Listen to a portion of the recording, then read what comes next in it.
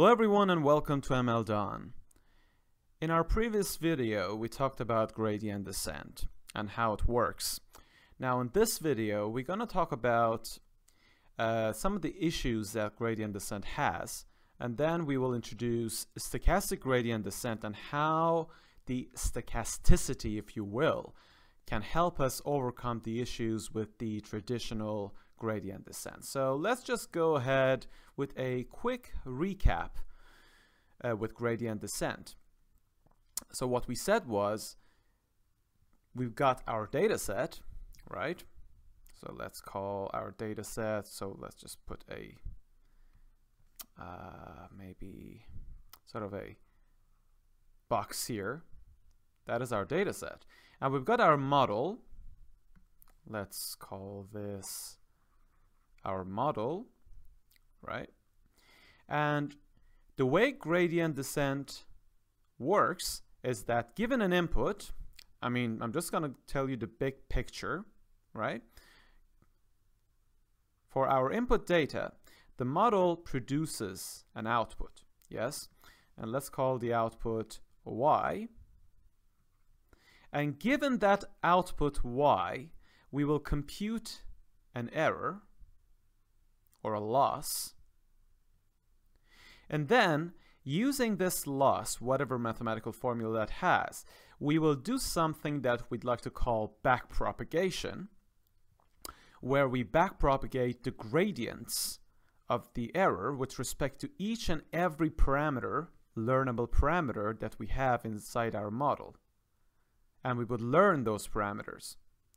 So, for example, if I have a particular uh, parameter w in my model, we could have hundreds of thousands of them, but let's just say I have one w there. So what I do is I compute the gradient of my error with respect to that w, right? This means, or let's just say this tells me if I increased my w by just a teeny tiny little bit, how much my error is going to change, right? This is what I call uh, the, what we call the gradient of the error with respect to uh, the parameter, right? And then we said that we scale this by a learning rate that we that we denote with eta, literally multiply them together. And we called this the amount of change that we need to do, we need to apply to my parameter w so that my error would decrease the fastest with respect to a little change in my W, right? And we said that the delta W, the, the amount of change that, that I'm going to have is going to be the negated of the gradient because gradient will tell me the direction of uh, the fastest ascent on the error surface and the, the negated bit sort of reverses the logic. So now delta W tells me, uh, shows me the direction of the steepest descent on my error or, or the on the error surface, let's say, right? And then you update the, the value of your W and this learn with this learning rate. So then the new W is going to be my old W, whatever it is, plus the amount of change that I need to make. So either increase it or decrease it, and by how much, that how much is dictated by my eta or my learning rate. This was a fast recap. Now, the traditional gradient descent, the way it works, I mean, apart from all these partial derivative and fancy stuff, if you have a training set, right, let's call it X, it has, say, uh, 1000 input data in it, right? So 1000 training data, right? And you've got your model, right? So what you do is you input the first data in, it generates the first output, and with this output, you compute the derivative of your error. I mean, after you computed your error, you compute the derivative of your error with respect to each and every one of your parameters in this model. In this model. it could be millions of mil millions of parameters, right? You compute the gradient at that moment given this first input data, right? You compute the gradient with respect to each and every one of the weights. Now you have the gradients, right? Now you know how much you need to change each one of the weights and how should you change it in terms of increasing or decreasing so that you have the fastest uh, descent in your loss or, or in your error. However, gradient descent, or sometimes they call it the batch gradient descent, does not update the parameters yet. What it does is it computes and saves these these gradients for so if you have 1000 or 1 million weights in your network for a given input data you will have okay let me just ground this. Let's say you have just let me let me just simplify this. Let's say you have 10 learnable parameters in your networks. Let's say it's a neural network and you have 10 weights. 10 weights right? So uh, weights. So at this stage you will compute the gradient of error with respect to each and every one of your 10 weights so you will have actually you will have 10 gradients 10 gradient values, one for each weight, right? But you do not update your weights yet. What you do is you repeat the same process for the second input data. You compute uh, the output again. You compute the gradient again. Whatever the gradients with respect to your weights given this second input data is, whatever the result of this guy is, you keep adding the gradients to the previously computed gradients, right? And again, you go on for this for the for the third input data. Note note that again here you will have 10 gradient values. So you literally compute sum these gradients together, again, you will end up with 10 gradient values. So by the time you get to the end of all of your training data, you will, at each step, you will generate 10 gradient values, 10 gradient, 10 gradient, 10 gradient, and, and you keep summing them up, right? So at the very end, you will end up with 10 gradient values again. Oops, let me, oh, let, that's fine. 10 gradient values right? So again, this is just a recap from uh, our previous uh, videos, right? So I'm not going to go into too much detail here, right? And only now that you have computed the sum of all the gradients with respect to your, uh, your all of your weights, which are 10 in this case, only then will you update the weights, right? So let me just give you a toy example right? Let's say you have x and you have x1 and x2. Just two input data, right? You've got your parameter, your uh, model m. First data gets in and the first output is computed. And then you compute your error and you compute the, and let's just say I have one parameter. Let's just say I have one w, right? I'm just going to simplify this. You compute the gradient of the error with respect to your W, right?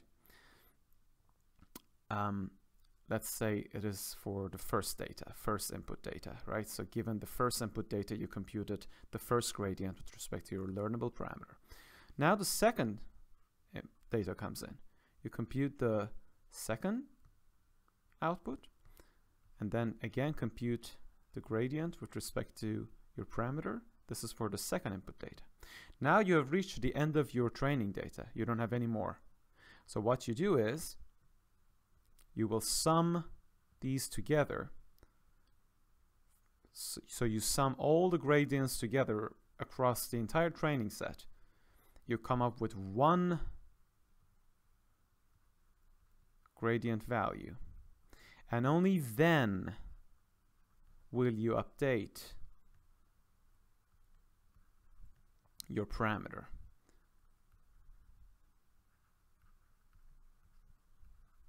Right? So this guy when you're talking about batch gradient descent or gradient descent in general is the sum of all the gradients across the entire training set. Right. Now, there, there are a few is issues with uh, the traditional gradient descent. Number one is because you need to go throughout the entire training set uh, before you could actually uh, come up with the final set of gradients to update your parameters.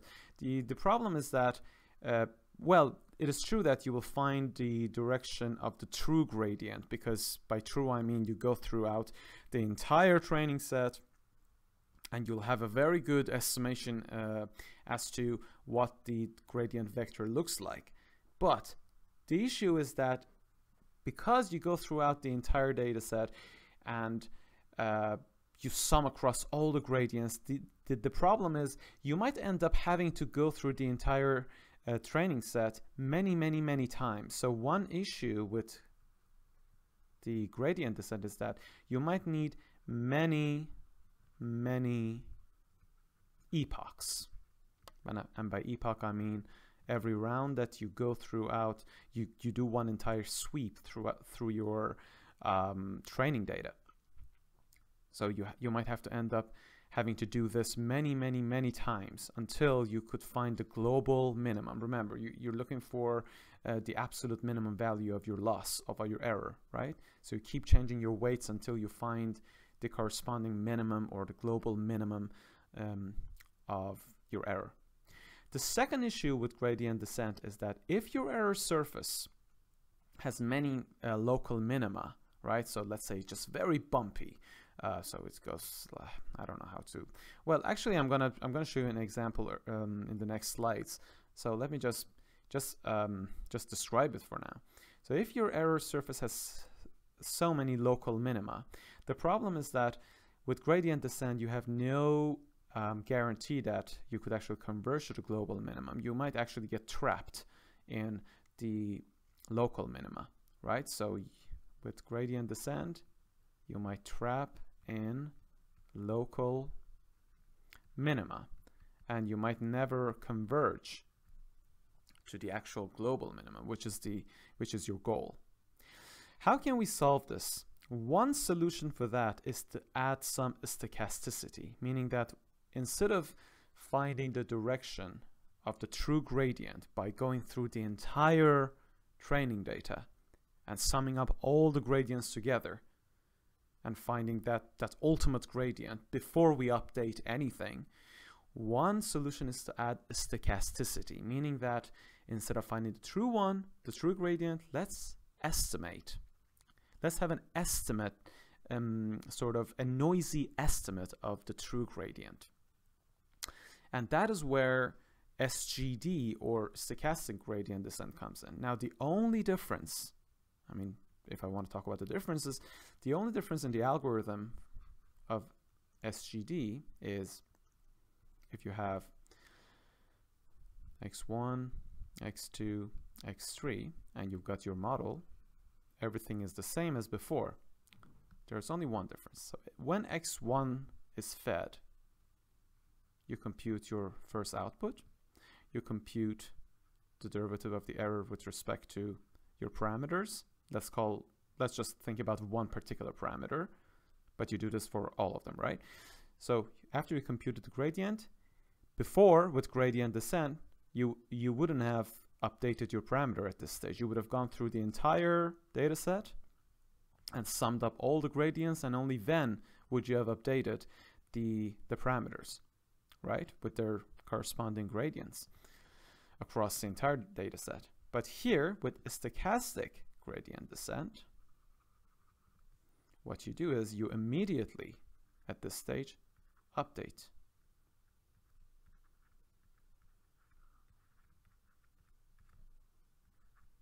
Let's call this the gradient given the first input data, right? So that that super index is uh, is denoting the like which input data is fed into the model. Now the second input data comes in, the second output is computed,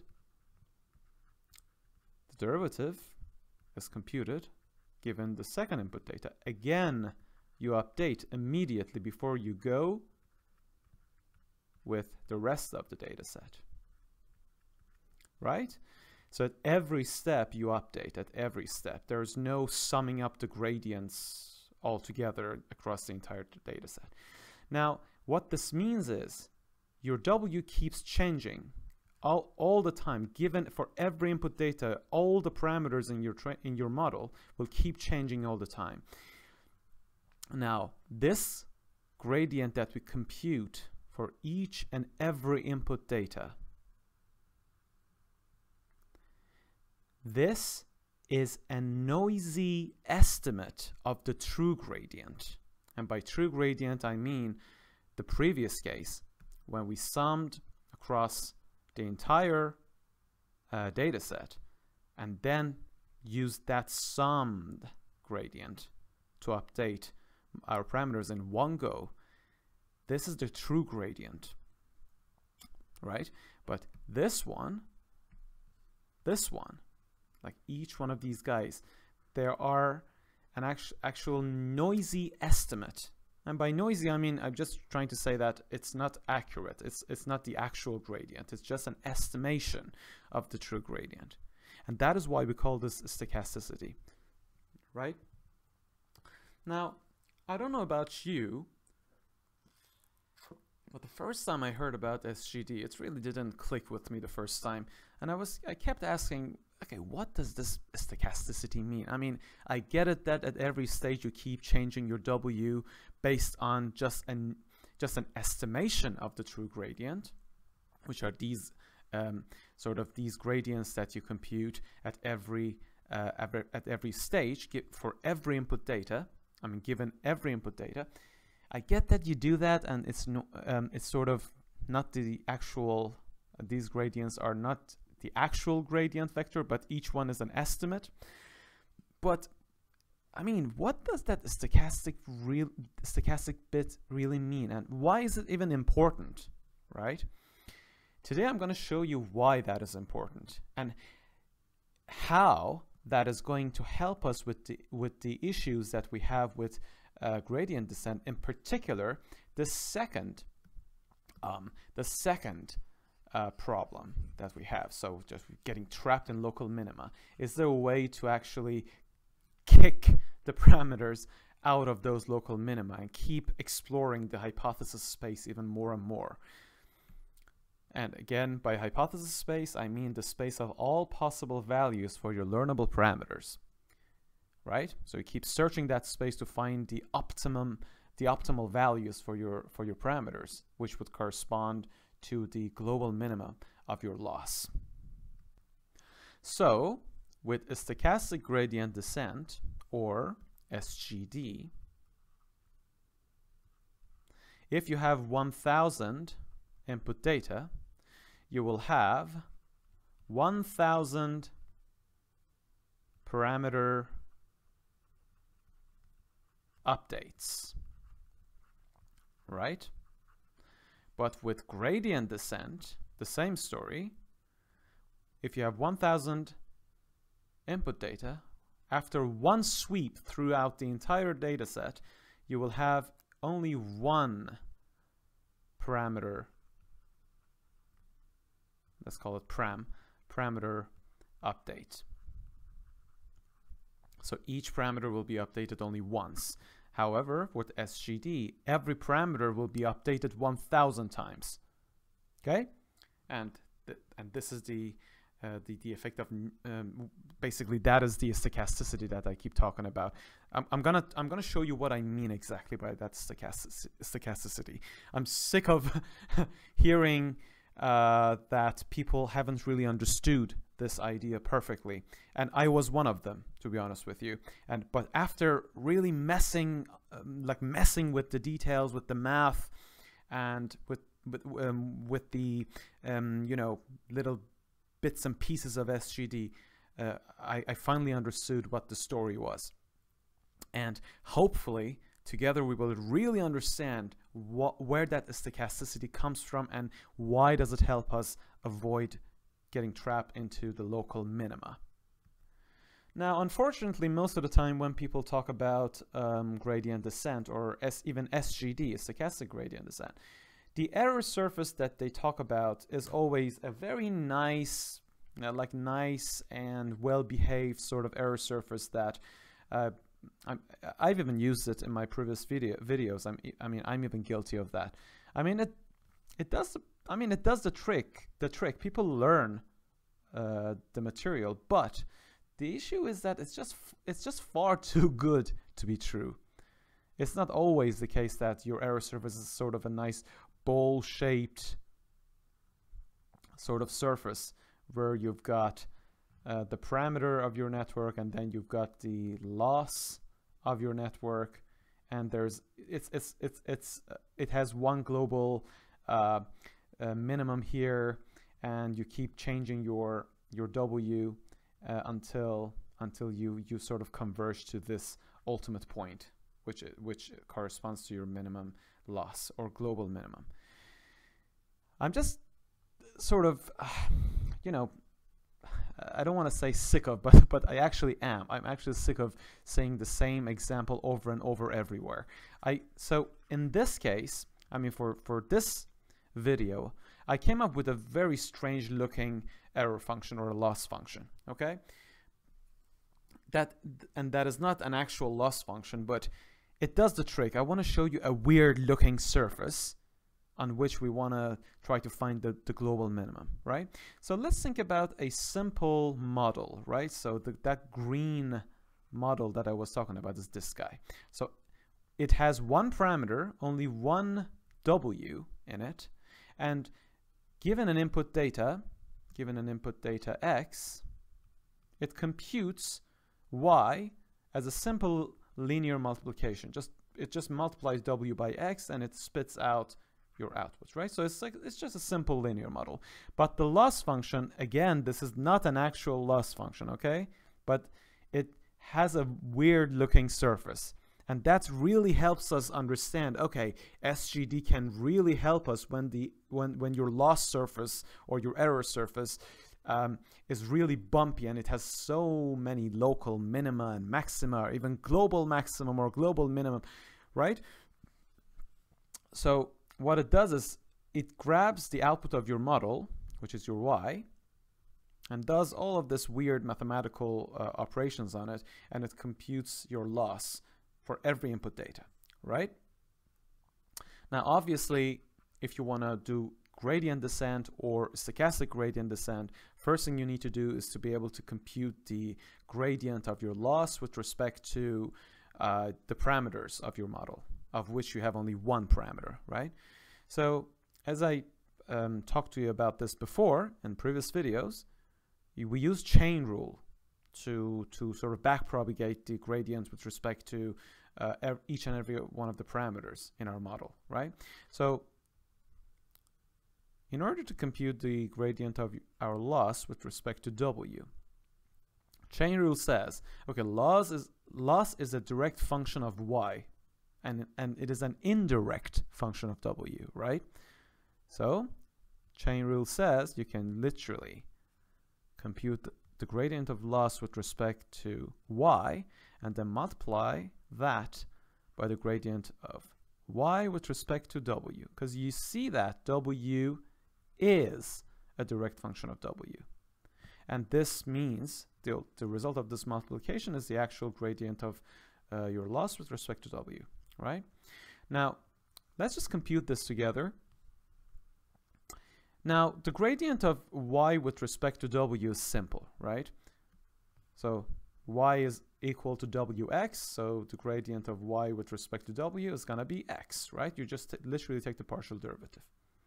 So this guy is x. But the first guy could be a little bit tricky, right? So this is our loss how should we take the derivative of this whole thing with respect to y? So you note that it's it's an actual multiplication of this chunk with this chunk. And you know that from basic mathematics that if you have uh, the multiplication of two functions together, let me just put a sort of side note here, that if you have the multiplication of two functions. Let's say I have two functions that are functions of a variable called y, So fy multiplied by g of y. If you want to take the derivative of this entire thing with respect to y, that would be the partial derivative of f of y with respect to y multiplied by g of y. All of this plus the partial derivative of g of y this time with respect to y multiplied by f of y. Right? That's called the multiplication rule. Again, so in our loss function, we have the multiplication of these two guys together, right? So let's follow this rule over here and compute it. So this is like my f of y, this first chunk, and the second chunk is my g of y, two functions of uh, that are functions of y, right? So the partial derivative of f of y, what is it? So how can I take the partial derivative of that? It's going to be minus 2y plus 3y squared multiplied by g of y. g of y is e to the power minus y squared. This whole thing, the rule says plus, okay, plus the partial derivative of g of y with respect to y.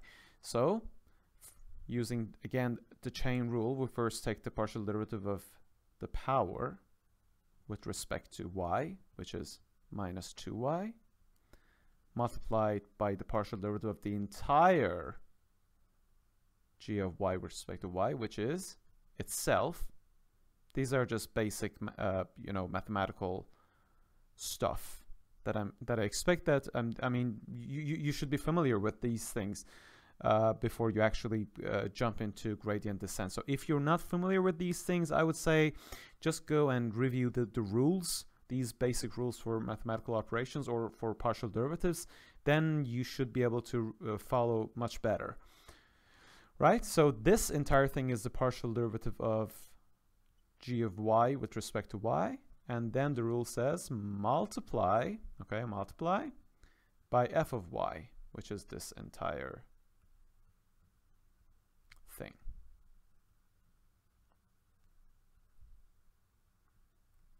Right?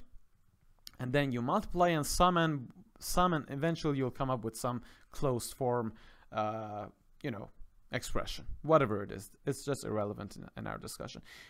And then, and then whatever it is, it's gonna be this guy, right? whatever it is, it's to be multiplied by x or our input data and that's going to be the the partial derivative of loss with respect to our learnable parameter w. Okay? Now one thing you need to know is that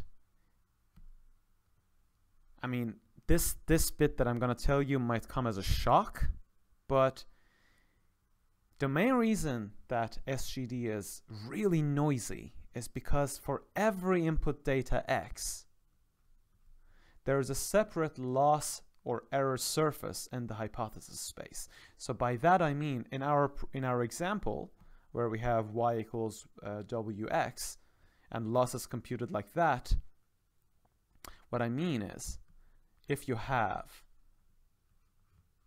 in your training data, you have x1, x2, x3, x whatever. For every input data, if you visualize the error surface in the hypothesis space, so we have W here, we have our loss here, it might look something like this. And then for the second input data, if you visualize it, visualize the your loss, it might it's gonna look something different. And for the third one, again, something different.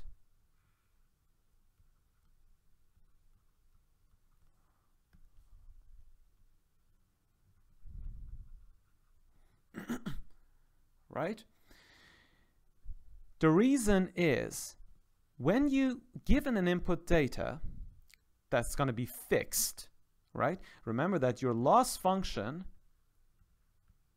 whatever it is, it is a function of your input data, whatever it is, and all the parameters in your network that's, that are going to manipulate that input data to produce your output, right? Is a function of these two things. Now, if you fix x, let's say the first input data comes in, and let's say it's going to be a fixed value, x1, you can actually plot the value of your loss across a range of values for w, right? So you start with your w from minus 1000, go all the way to plus 1000 and compute the loss. You end up with a surface. You end up with a surface like this. And as you keep changing x1 to x2 and x3 and x4, you, you end up with different surfaces right? Now, if you actually, um, if your x, right, if um, x1, x2, x3, all of them, if they're actually coming from the same distribution of the uh, of your training data, right? If so, if there is a governing distribution across your entire training data, you assume that you can assume that the error surface corresponding to x1, x2, all the way to xn, they're gonna look more or less similar-ish, right? Because you, you, your data is coming from the same distribution. Some surfaces would look very different, but the majority would look more or less the same, right? because most of the uh, most of the uh, the values of x uh, are going to be sort of concentrated around a certain uh, around certain values, and there's there are going to be uh, values that you fall on the tail of the distribution, sort of outlier values, for which if you if you plot the loss surface, it's going to look something very strange, something that is not really similar to any other loss surface that you've plotted. Okay, but anyways, now if I concatenate all of these loss surfaces together, right? So for every x, if I if for every x value for x, if I plotted this error surface and I sort of stuck them together, right? For the loss function that I showed you here, for this guy, for this loss function over here, it's gonna look something like this. All right, what are we looking at? So we have the values of our training data, right? On this axis. Uh, on this axis. And for every value of x, let's say if the value of x is minus 2, right? Over here. I literally plot the, uh, uh, the, the values of loss across a range of possible values of my parameter w. Remember, your loss is just a simple function of your input data and your w. Right? So if I actually, let me change my color to black. So you literally cut, if you cut through this,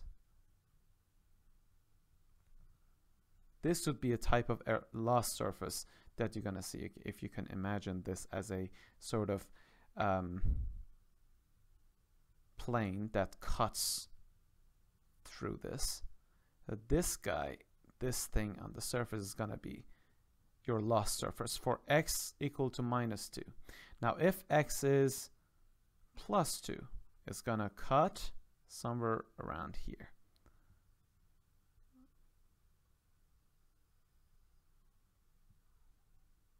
right? So you can actually see how this looks like. More or less, you know what I mean. So this guy over here is going to be the result of cutting through this figure, right? So for every input data, you will have a different looking error surface, right? And if I want to visualize all of these error surfaces for across many different uh, values of x, right? And remember, let's say let's say the current value of my w um, is say minus something. Let's say minus 0.2, whatever, right? So it means that even though this, like let's let's talk about this surface, right? Even though the current value of my w is it, it, the current value of my w is minus 0.2, my question is, should I increase it or decrease it so that my loss will will will go down much faster? So the first thing that I have to do is to compute the gradient with respect to my w given the, the current input data, the current input data, whatever it is. Now, if I want to look at all of these surfaces, so let's say I have, uh, I don't know, like 10 input data, and for every input data, I'm going to plot the, the error surface. I end up looking, I mean, it, it's going to end up looking something like this. It looks beautiful. So for every input data, you'll end up with, so for we have 10 input data in this uh, toy example, and for every input data, you can plot the cut through this three-dimensional uh, surface so that you could visualize the error surface, right? And the horizontal value, the horizontal axis is going to be your W's, right? The possible values of your W. Now, let's say the current value of your W is minus 0.3, right? So this guy over here, minus 0.3, minus 0.3. Given an input data, let's say for the current input data, this guy is the this guy is the surf is the plotted error surface.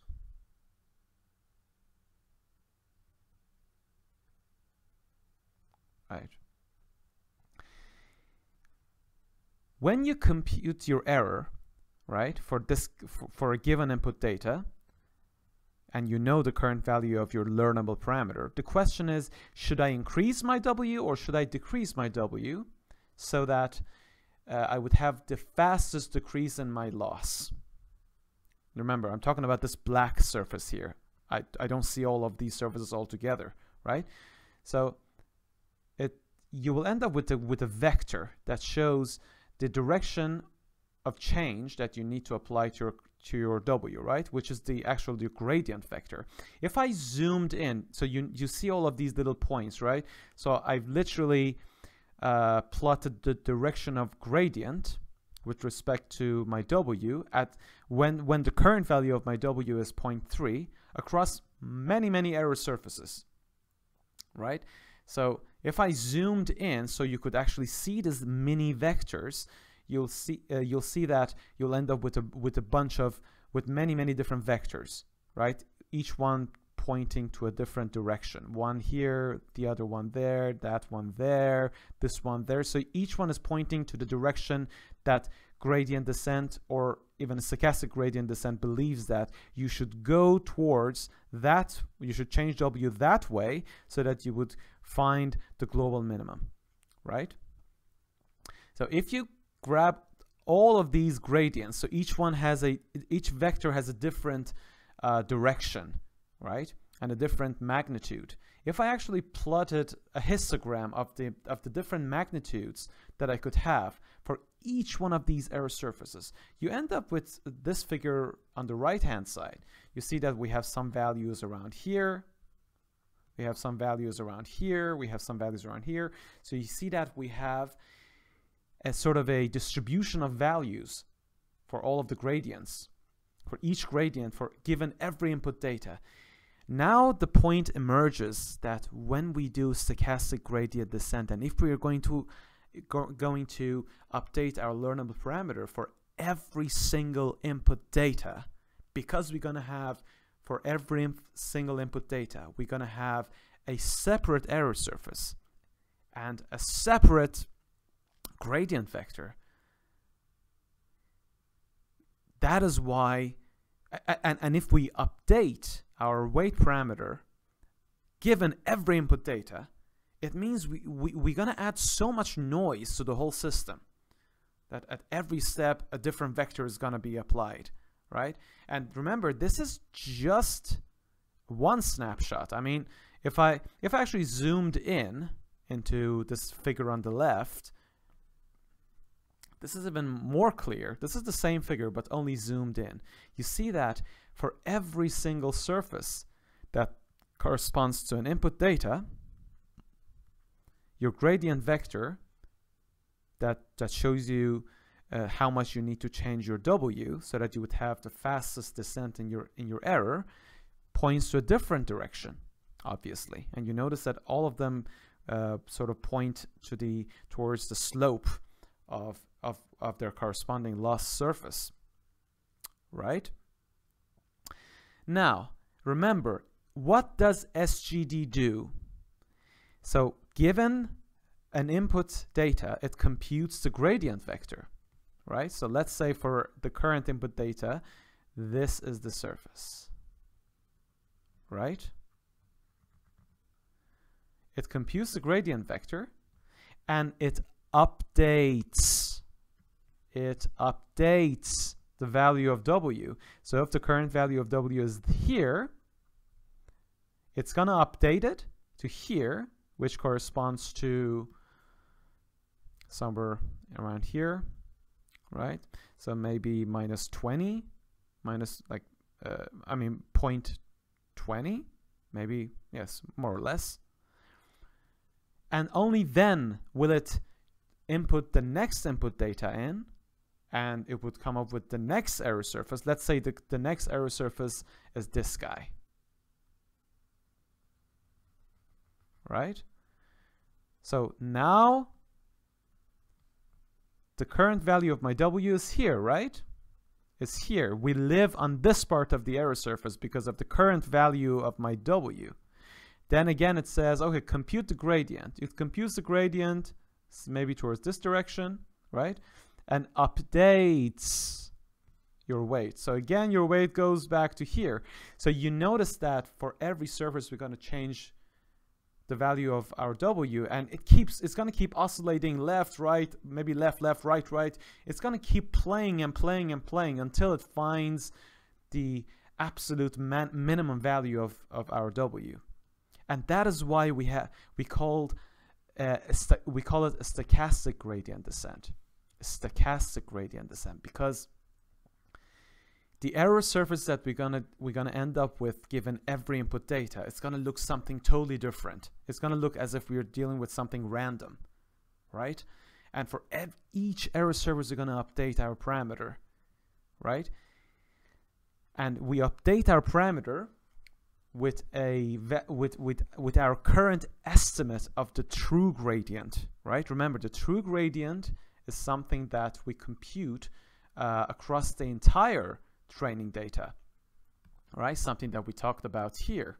So we compute all the gradients, sum all of them together, and only then we, we just update our parameter once after a whole sweep in our x. But here we update at every single step for every input data, right? Now I've prepared a nice animation for you, right? What you're going to see in this animation is for every input data, we'll see a different error surface and we have an initial value of our W, which is minus 0.3, even that doesn't, it's hard to read it. Remember, just be before I, before I uh, continue with this, remember that the global minimum that of, of the error that, that you can see on the surface is, I've already computed it, is minus 0.76. That is your global minimum. That is what you hope to, to find. You want to find a value for W that corresponds to this global minimum. That means you have converged to the best possible value in W after your, your search through the hypothesis space, right? So let's say the current value of uh, W is 0.3 minus 0.3. And every input data is going to change the error surface in such a way, I mean in different ways, and that's your stochasticity. And for every single input data that generates this error surface, we find the direction of gradient and we update our, our parameter w, right? So at the very top, you'll see that your input data is going to keep being fed into the network and your error surface is going to keep changing and changing. And you'll see we have this little uh, sort of vector here. You'll see this vector moving the value of weight, of your weight, along different directions, right? So let me just show you. So let me just play it. See what happens. You see it stochastic gradient descent keeps moving the current value of your W and your loss function keeps changing for every input data. You see that every input data is changing your loss function and eventually it reaches to the global minimum value. And what is that global minimum? If you, if you can read it here, it's a little bit small. Um, actually, I have to play it again, but keep looking at this particular point here that's going to compute the current value of loss, right? So see how we, we converge to the global minimum, which is minus 0.76. It goes all the way down ish, yeah? Minus 0.76, right?